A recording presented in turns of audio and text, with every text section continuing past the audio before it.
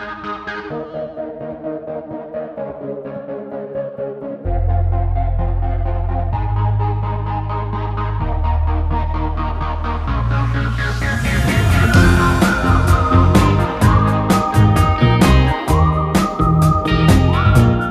Praca nad kampanią z reguły przed powstaniem gotowego spotu to gdzieś dwa miesiące wcześniej się rozpoczynają. One z reguły najdłuższy jest ten proces taki briefingowo-kreatywny, który wspólnie z agencją e, przechodzimy. Po badaniach najlepszy koncept jest realizowany. Stawiamy tu na dynamikę, prawdziwość. Mamy bardzo fajne plany. Kręciliśmy dzisiaj na dachu budynku z widokiem na centrum Warszawy. Jest naprawdę bardzo spektakularne zdjęcia.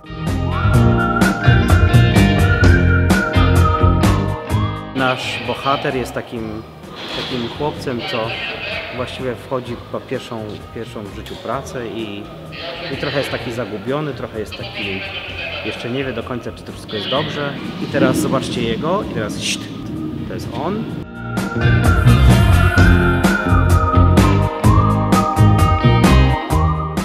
Są drony, które latają, o, tym się steruje.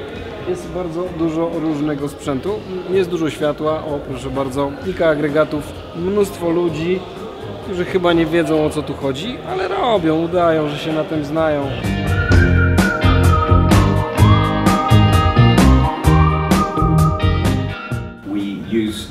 Quite dynamic grading in the beginning.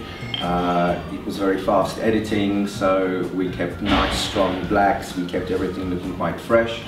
And for the second part, uh, in the home and in the office, we uh, used some masks to to show the contrast between the warm parts and the cooler parts of the picture. And we'd like to keep the skin nice and dynamic.